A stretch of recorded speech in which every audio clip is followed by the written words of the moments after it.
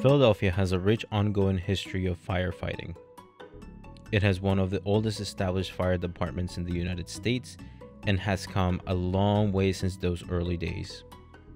William Penn established Philadelphia in 1688.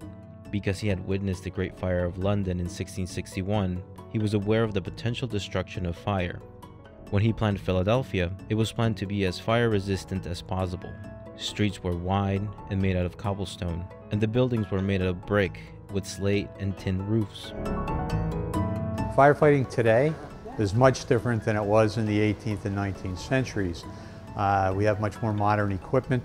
Uh, we have aerial ladders, uh, tower ladders, uh, pumpers with much larger capacity, uh, and state-of-the-art equipment in most cases.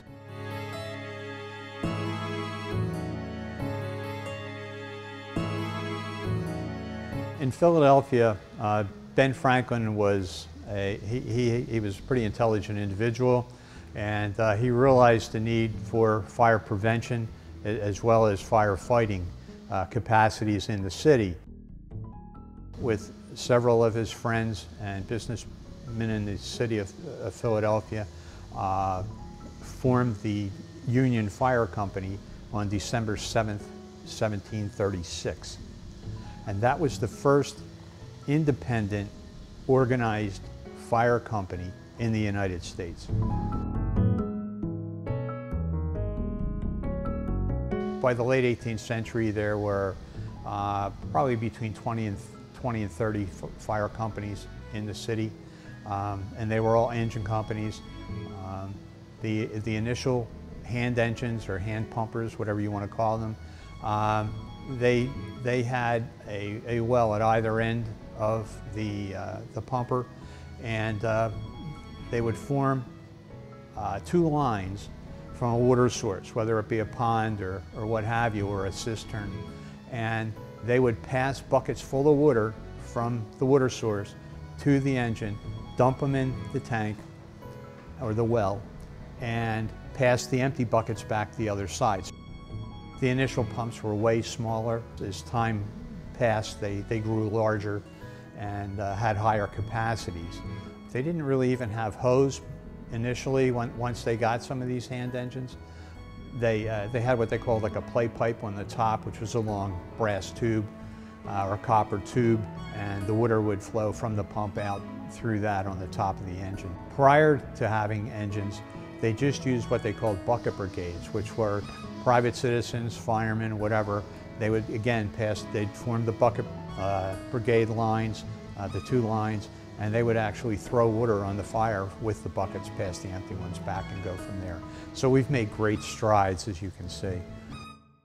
The members of the, uh, the early fire companies and even you know, the later volunteer fire companies in the city uh, were prestigious individuals. They, they, could have been attorneys, they could have been uh, uh, judges, uh, business people, uh, so on and so forth.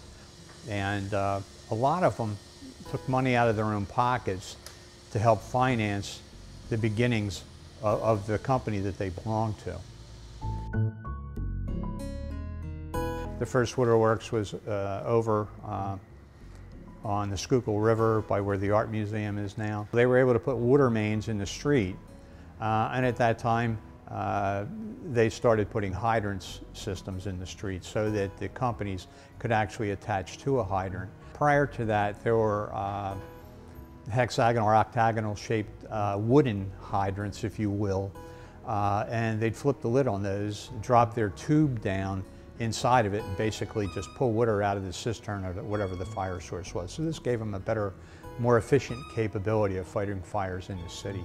If there wasn't a, uh, a, a, hydrant, they could actually dig down to the wooden water main and they would use the hand auger to, to just drill a hole in it. And when they were finished, so it didn't leak all over, they would take a wooden plug and hammered into the top of it so that it, you know, it was good for the next time. And that's how the term fire plug came around. We call them fire hydrants today, but earlier they were referred to as fire plugs and they were cast iron. The Harmony Fire Company was actually organized on August 20th, 1784. They served actively in the city up until approximately 1855 when the city uh, organized their city volunteer fire department after annexing the, uh, the various municipalities that surrounded what was then the city of Philadelphia.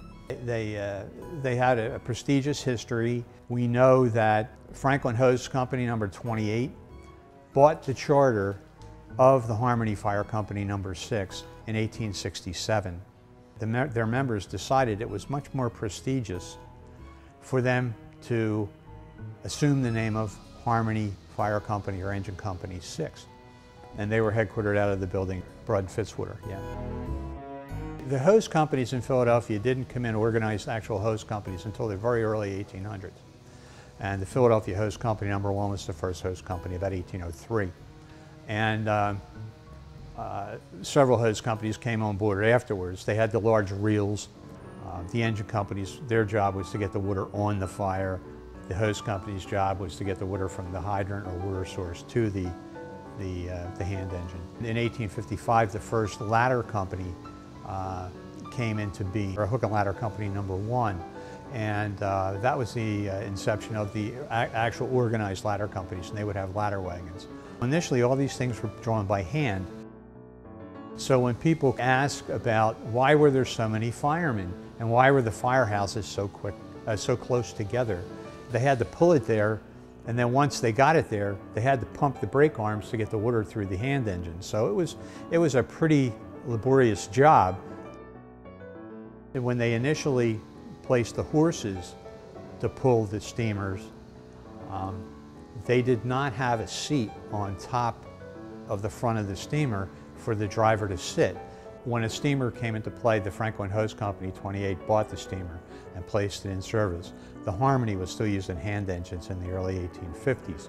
So they did not have a steam fire engine because again, the first one came into the city in 1858 uh, for full use with the Philadelphia Hose Company. Uh, once Franklin Hose uh, purchased the charter from the Harmony Engine Company or Fire Company in 1867, then they, they decided to go with that name again because it was more prestigious and the organizational date was 1784 for the, for the Harmony. So at that point, it became the Harmony's steam fire engine until 1871.